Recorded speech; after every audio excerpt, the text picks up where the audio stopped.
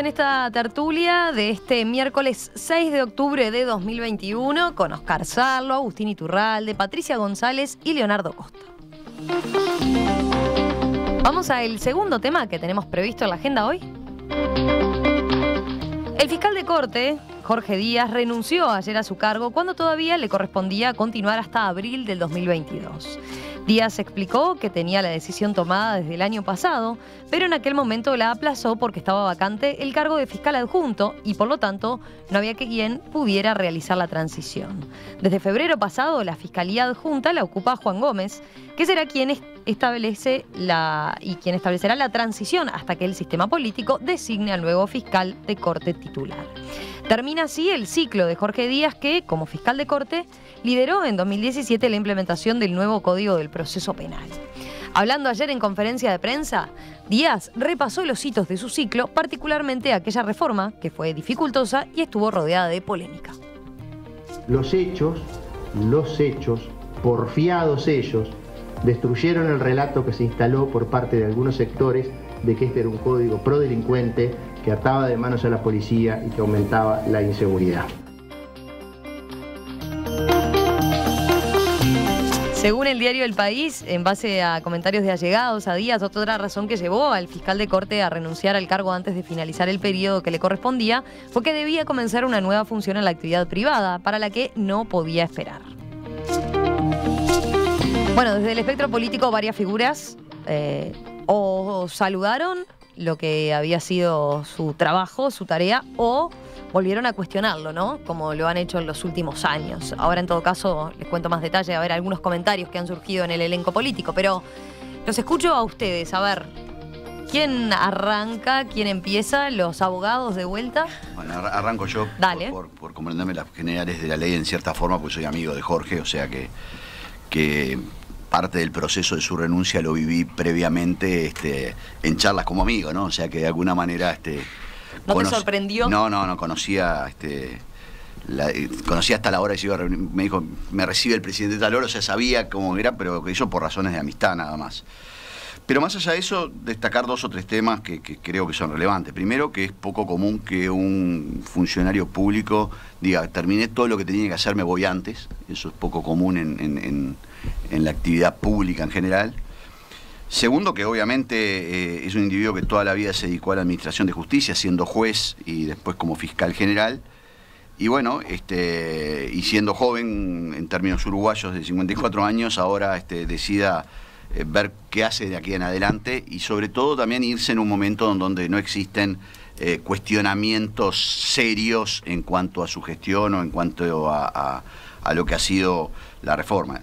La reforma que, hizo Jorge en su gestión creo que son tres, cuatro cosas importantes. Primero, eh, una reforma de la Fiscalía en sí mismo, que creo que es una, reforma trascendente. Segundo, una reforma del Código, que también es trascendente. Y tercero, este, una, lucha por este, eh, comunicación, por comunicar, perdón, lo que era la Fiscalía, lo que son los procesos y las garantías que se deben dar a los, a los este, mm, ajusticiados, que me parece que también es relevante. Por supuesto que este, las críticas vienen básicamente de Cabildo Abierto y, de algún otro sector eh, que digamos que si no lo criticaran eh, sería raro. Este, pero lo que sí hay que destacar es que el sistema político lo votó por unanimidad ya en el 2012, en una iniciativa del Poder Ejecutivo del momento, y que mm, supo sortear, creo, con bastante éxito eh, el cambio de, gobierno, eh, siendo leal institucionalmente y esperando que hubiera un, un, este, mm, un fiscal adjunto para, que, para poder renunciar. El desafío que tiene ahora el sistema político es, ¿se va a poder generar tres quintos para designar un nuevo fiscal o vamos a tener que seguir en este interinato mm. en una buena, porque creo que es una, una muy buena persona este, y un muy buen fiscal eh, Juan Gómez, pero me parece que esa discusión eh, va, a estar, que, va, a tener que darse en algún momento. ¿Quién quiere seguir? ¿Le damos la palabra a Oscar, allá a la distancia, o vos? Pata, Dale, a ver, Oscar, te escuchamos a vos, dale.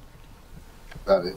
Eh, bueno, eh, a mí me tomó un poco por sorpresa, porque en realidad eh, si bien es cierto que había anunciado eso eh, con tiempo, este, no era, no se había hecho efectivo desde varios meses, y la verdad es que yo había escuchado que el, nombre de, Jorge Díaz entraba en una mesa de negociación de todos los cargos que se, las vacantes que se van a producir en órganos de contralor, digamos en términos generales, ¿no? Es decir, Suprema Corte, Tribunal de Contencioso y la propia Fiscalía entre octubre y los primeros meses del año que viene. Y eso está siendo objeto de negociación. Hay una comisión muy reservada, pequeño grupo, digamos, muy reservado que está negociando eso. Y tengo entendido que el nombre de Jorge entraba en esa, en ese, en esa lista, ¿no? Entonces, Sí, quien tenía alguna resistencia ahí en esa negociación con, con respecto a su nombre era Cabildo Abierto, ¿no? De vuelta. Bueno, eh, sí, seguramente sí. Este, no era, el Cabildo Abierto no era el único, el único enemigo que tenía, ¿no? Había otros. El ex fiscal Gustavo Subía, por ejemplo, también era otro de sus férreos críticos, ¿no? Este, llevó una, una batalla frontal contra, contra Díaz y este eh, Viana también, ¿no? Aunque Viana no estaba dentro del sistema político claramente, estaba apedreando desde otro lugar, pero también le había llevado una, una, guerra frontal, ¿no? Pero esto muestra también cuál es el tipo de, confrontación que había. Son este, más bien grupos que o, tienen vinculaciones familiares o, ciertas nostalgia con el proceso cívico-militar o padecen las consecuencias de los juzgamientos que ha habido, ¿no? En el caso de Cabildo Abierto es, es su electorado, parte de su electorado es ese, ¿no? Entonces es lógico que tengan una actitud de confrontación con él. Eh, en el caso de Subía y, de, de, Viana había una cuestión con, el, con la estructura interna de, la Fiscalía, o con la estructura institucional directamente, que lo llevaba a confrontar. Bueno, a mí me parece que, eh, pasando raya sobre esto, yo diría que eh, ha sido una gestión exitosa. Eh, a mí me parece que fue un, un, personaje raro en el ámbito de los organismos de Contralor por el tipo de liderazgo que tuvo, ¿no? Es decir, que llegó poder no solamente lograr que se aprueben ciertos cambios institucionales, como fue la reestructura de la Fiscalía eh, del Estado como, como ente eh, servicio descentralizado, la aprobación del código, sino además ponerlo en funcionamiento. Por eso implica, realmente requiere liderazgo en un, en un ámbito en el cual justamente lo que no pueden haber son, son difíciles de admitir los liderazgos, porque cada estructura de esta, sea el Poder Judicial, sea el, TCA, sean las fiscalías, los eh, supuestamente subordinados reclaman la autonomía técnica y esa cosa que se maneja a veces en términos tan absurdos, este, porque se, se, se, soslaya lo que es la autonomía técnica de cada uno. Entonces, parecería que ejercer un cierto liderazgo es muy difícil. Y además hay que negociar con el sistema político, porque hace falta presupuesto. Y todavía la comunicación, como bien señaló Neco recién. Bueno, en todo esto, yo no puedo decir que haya alcanzado el 100% de lo que se proponía, pero la verdad que se manejó muy bien, demostró dotes de, de liderazgo institucional que es fundamental.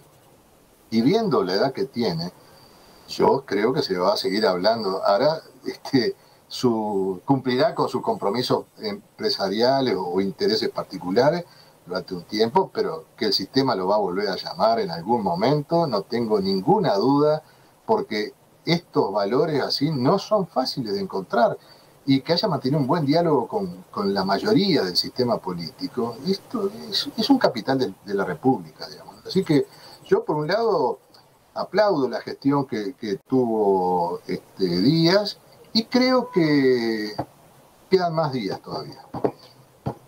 Eh, hablando de repercusiones, decía yo, en el sistema político, bueno, mencionamos quienes lo cuestionaban, pero por ejemplo, a ver, dos ejemplos. Alguien que destacó su figura fue el intendente Canelones, ¿no? Yamandu Orsi, o el, senador Charles Carrera. Del, del, Frente Amplio. Orsi escribió concretamente, se retiró de su cargo un gran protagonista de la vida y la institucionalidad republicana que dejó un marco muy importante en la justicia. Y después, eh, Gustavo Penadez, del senador del Partido Nacional, dijo que calificó a Díaz como el hombre indicado para el momento indicado y resaltó su lealtad institucional y el servicio que dio a la Fiscalía. Dijo Penadez, podremos y podemos estar de acuerdo o no con sus opiniones o sus directivas al frente de la Fiscalía, lo que no impide que reconozcamos que, reconozcamos que cumplió una buena tarea. Sí, yo, eh, retomando un poco esto del planteo de Neco, creo que, hay una noción general en el sistema político que era un buen tipo, ¿no?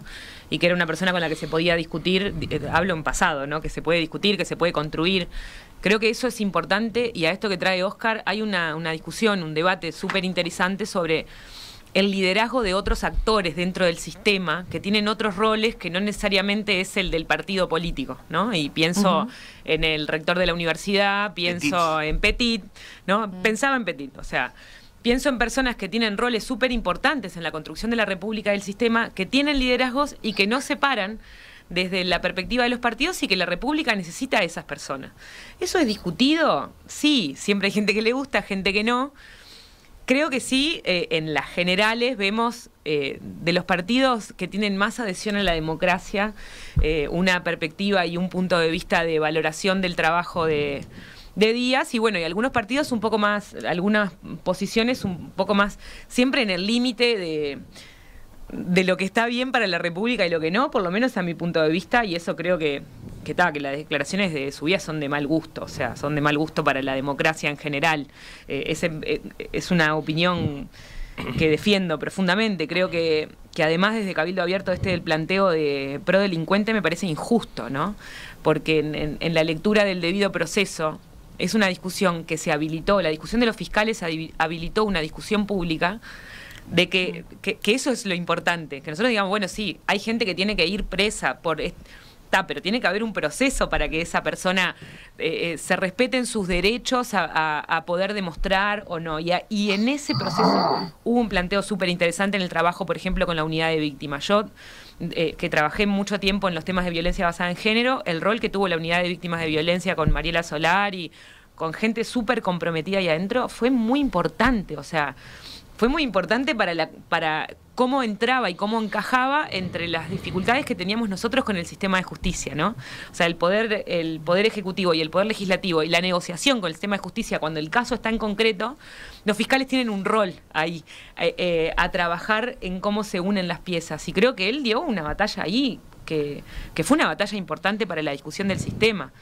Eh, creo que lo que queda para mirar para adelante es pienso también como un, paréntesis, qué difícil que es para estas personas con estos liderazgos que también seguramente tienen opiniones políticas y también seguramente tienen su propia ideología y pensarán que, un gobierno está mejor que el otro, ¿no? Y tenés que bancar. Yo escuchaba el otro día Petit en, la entrevista que, le hacía hablaba muy bien de uno, muy bien de, o sea, tratan de, tener un punto intermedio, más allá de que vos tenés un punto de vista. Entonces, creo que eso en un momento también entra en tensión. O sea, a mí así, visto de afuera, me parece que eh, tengo la impresión de que a Díaz le queda lejos, un poco lejos algunas políticas del gobierno. Capaz que es un punto de vista que tengo yo y Díaz diría, no, no tiene nada que ver y, no tiene nada que ver con el gobierno y me cae bien las políticas que están llevando adelante, pero decido irme igual. No quiero dejar de decirlo porque me parece que eso está en lo bajo, en, o sea, viene en el planteo de, bueno, en realidad es un tipo que no le queda cómodo eh, ser el fiscal de corte en el gobierno de la coalición de la derecha. Ese es un... Pero déjame decirte una cosa. Él, por ejemplo, con, con Jorge Larrañaga en particular, se llevó mejor que con Bonomi. Sí, trabajó muy bien, ¿no? Hizo Pero no tiene que ver con un tema ideológico, obviamente, tiene que ver con cuestiones personales, me da la impresión. Y un, tema interesante, Pato, para que, para que veas, yo, yo, a Jorge lo conozco del año 85, cuando entramos a facultad. Él militaba en una organización de izquierda y yo en la organización de Colorados. Eh, tuvimos unos años de militancia eh, donde incluso hubo, mm. hace poco recordaba, una lista única en unas elecciones universitarias entre CGU, Avanzar Estudiantil, que éramos nosotros, y la 14 de agosto, y que hoy es el Freselmi, supongo, mm. que no sé cómo, cómo son las fuerzas ahora, y hicimos una lista única y nos entendíamos porque había, había causas que eran comunes. Yo creo que parte de lo que, de lo que fue esa, esa generación, el padre de Agustín es otra persona que estuvo en esa generación, construimos eh, políticas universitarias a nuestro nivel, muy micro, pero con un nivel de tolerancia y con un nivel de objetivos comunes, que creo que fue parte de una construcción de una, de una, de una generación donde Juan Miguel Petit de alguna manera también estuvo, eh, donde Jorge Díaz estuvo, que nos hacía poder eh, tener objetivos concretos en materia de políticas públicas sin importar quién estaba del otro lado. Eh, yo voy a contar una cosa, es decir, yo cuando estuve en el gobierno, eh, un día eh, me, presentaron al hijo de Esteban Valendi para trabajar conmigo, y trabajó conmigo, hoy pobre fallecido, este, y, hablando un día con Jorge Valle, le digo, Jorge, mire que voy a traer a fulano, ¿y cuál es el problema? Yo creo que ese Uruguay de, la, de la discrepancia, y como bien tú decís, Pato, decir, capaz que él discrepaba con alguna cosa, pero es posible construir espacios comunes, es lo que nos hace falta en Uruguay. Eh, porque digo, momento para, estar en desacuerdo, tenemos todos. Lo, difícil es tratar de hacer momentos para estar de acuerdo, aunque sean pequeños detalles. Ese para mí es el valor justamente de lo que tú decís. Eh, poco, poco para, agregar, ¿no? Pero creo que sí, que claramente se fue una figura que, que es, primero se fue en paz, se fue en calma, tenía una decisión tomada, se reunió con el presidente, le dijo me voy. No pasó nada raro, que en algún momento, allá cuando se reunió con el presidente y renunció, parecía que había pasado, no pasó nada, era una decisión que él tenía tomado, por cómo había sido su proceso de trabajo, creo que eso también. Además dio esas explicaciones, ¿no? De, como que lo, hizo muy en orden, de, bueno, hasta ahora... Juan Gómez sabía que, el, rol que le iba a tocar. Eh, y creo, creo que eso también es parte de la, de la buena institucionalidad del país. Eh, creo que hay un proceso, una reforma del proceso penal muy importante que lideró, que ha tenido críticas, sobre todo expos, ¿no? Porque cuando uno mira lo que pasó en el Parlamento cuando se discutió esto, todas las cátedras, todos los especialistas decían que Uruguay necesitaba hacer eso, necesitaba separar el proceso acusatorio, bueno, no quiero decirlo mal porque, porque pero, pero separar el rol de la fiscalía del juzgamiento, y, bueno, lideró eso, creo que eso es muy importante. Y bueno, y un poco lo que, lo que decía Patricia, que, que está sobrevolando y me parece importante como ponerlo sobre la mesa. Jorge Díaz tiene un origen de izquierda. Eh, todo el mundo sabe que tenía militancia de izquierda, de joven, y que probablemente eh, eh, sus ideas no estaban tan afines quizás a este gobierno y trabajó con todo el mundo desde su rol. Y también del otro lado, que creo que decirlo, Jorge Díaz lo votaron todos los partidos políticos, a pesar de su origen, venía del partido que venía, salió, no, no, no hubo que esperar, salió por, por esa mayoría especial que requerían apoyo de todos los partidos. Y, creo que también ese es el, Uruguay que hay que cuidar y que preservar. no, no, no importa vos de dónde venís, y creo que vos sos la persona indicada para, para este rol. Y, bueno, ojalá podamos tener como más de, esa generosidad y, esa, y esos acuerdos eh, entre todos hacia adelante. Oscar quería decir algo respecto a lo que no, simplemente que eh, Agustín acaba de, referir otro caso más de legislación del Código de Proceso Penal que vino, digamos, este, impulsada desde organismos internacionales, ¿no?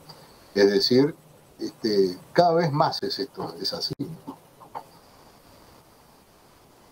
Sí, lo habremos hablado, Oscar, ¿no? En las mesas de juristas, ¿te acordás cuántas veces estuvo esto como como el tema de discusión. Pero volviendo a eso, eh, lo mencionaban al pasar, eh, en un momento fue el que se puso la reforma al hombro, digamos, ¿no? Quedó como la figura, eh, y en, sobre todo en la instrumentación, como la, la figura que, que llevaba la, la reforma y que reforma que en sus primeros tiempos fue muy muy cuestionada, probablemente problemas. tuvo, que, tuvo problemas en su interpretación. Y, quiero, ahí, yo todavía me quedan algunas dudas de, la evolución del delito, eh, eh, si en alguno de los años, si puede haber tenido algún, algún peso la reforma del Código Penal. Bueno, él ayer se encargaba de decir eso, ¿no? Como el tiempo me dio la razón de que esto no era una reforma pro delincuentes. Yo no, creo que sea una reforma pro delincuente, ni, ni muchísimo menos. Eh, creo que probablemente había cosas para mejorar y probablemente siga habiéndolas, pero creo que si era un camino, me parece que no es justo hacer un camino donde había consenso político y académico de que lo que tenían que aprender, bueno, lo emprendimos, surgen problemas, habrá que irlos enmendando, eh, ir perfeccionando, pero, pero lo que me parece no es justo es después de que eh, pasa algo mal, ya no, qué horrible lo que pasó, porque cuando lo discutimos, más o menos estábamos todos de acuerdo.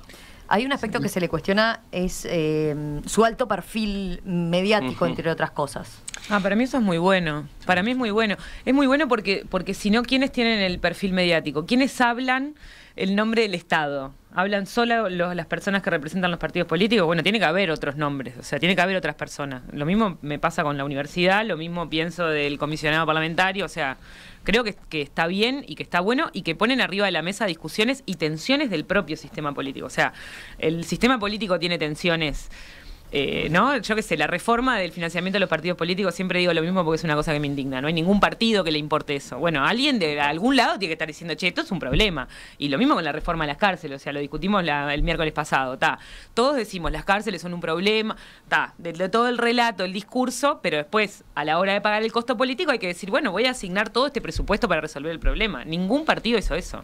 Ni el Frente Amplio, ni, ni la coalición. Por más de que yo pueda decir, bueno, se hicieron más cosas, me parece mejor mejor lo que hizo el Frente Amplio, lo puedo decir, pero si se invirtió en una política de cárceles, no. Bueno, alguien tiene que decirlo desde algún lado, porque si no, o sea, creo que, que son elementos de tensión del sistema, pero de la tensión para construir, ¿no? De la tensión, la tensión, cómo tensiona de forma productiva el sistema por adentro si todo tiene que ver con la, con la alineación del partido que sí creo que tiene que haber alineaciones de partidos y que me encantan los partidos, no estoy hablando en contra de eso.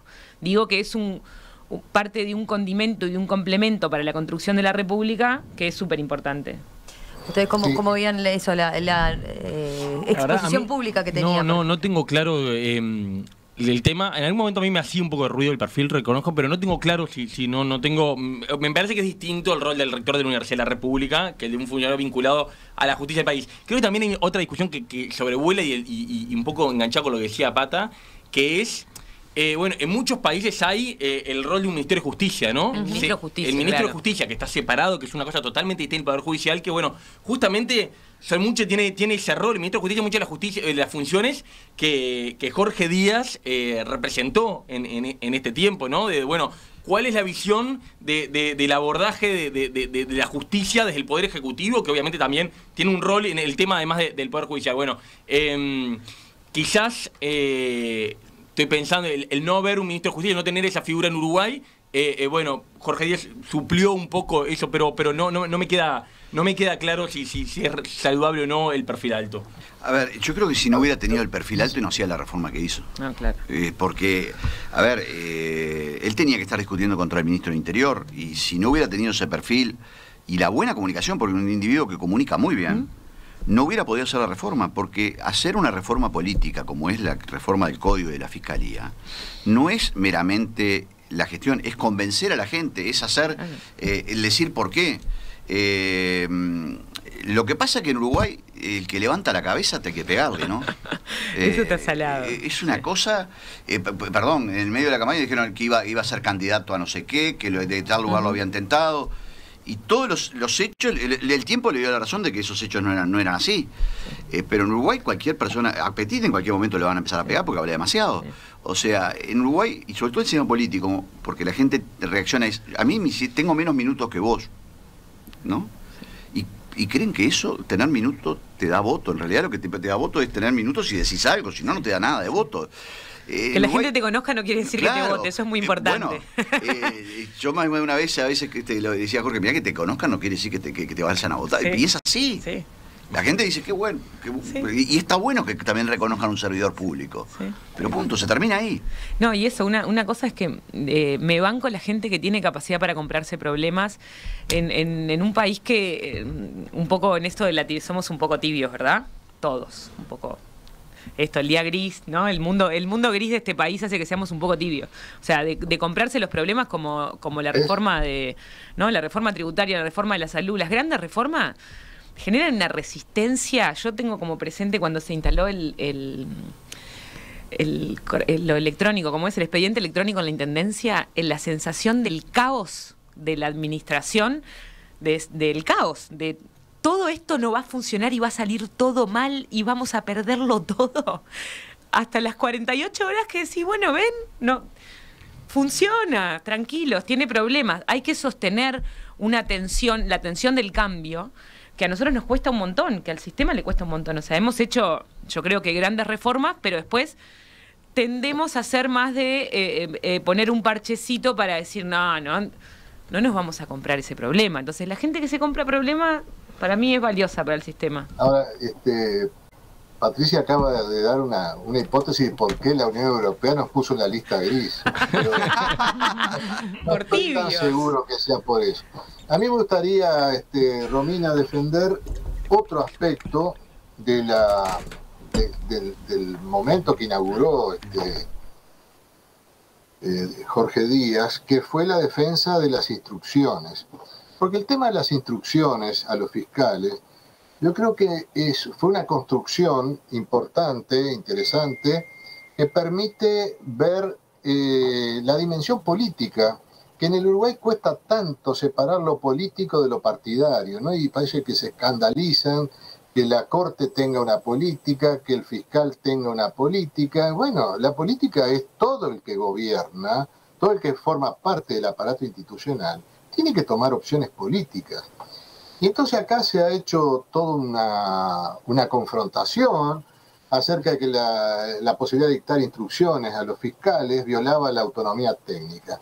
Esto es un disparate, perdónenme los que lo, lo sostengan, pero digamos, la política no es técnica y hay cuestiones políticas en todas las instituciones y eso no es técnico. Los, abogados, los fiscales, los jueces, la, parte técnica de su trabajo es estrictamente técnico, o sea, aquello que responde a reglas perfectamente establecidas.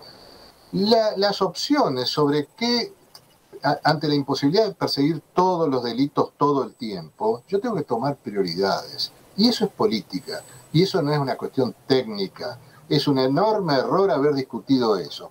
Nos podrán gustar o no las, instrucciones, pero la posibilidad de dar instrucciones, esto es de conducir políticamente una institución tan importante como la Fiscalía, no, no, se puede discutir y sin embargo se hizo una guerra destructiva con esto, una guerra de odio con esta cosa, y que felizmente eh, Díaz triunfó en eso porque se instauró y espero que esto continúe que no se cambie por una cuestión de saludar a la bandera este, a los que se oponían, ¿no? Creo, creo que eso tiene que ser así y, este, y está bien que sea así, ¿no?